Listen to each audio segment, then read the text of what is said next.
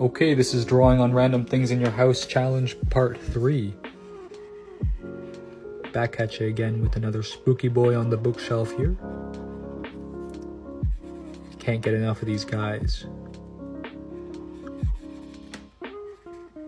Give him some squiggly arms.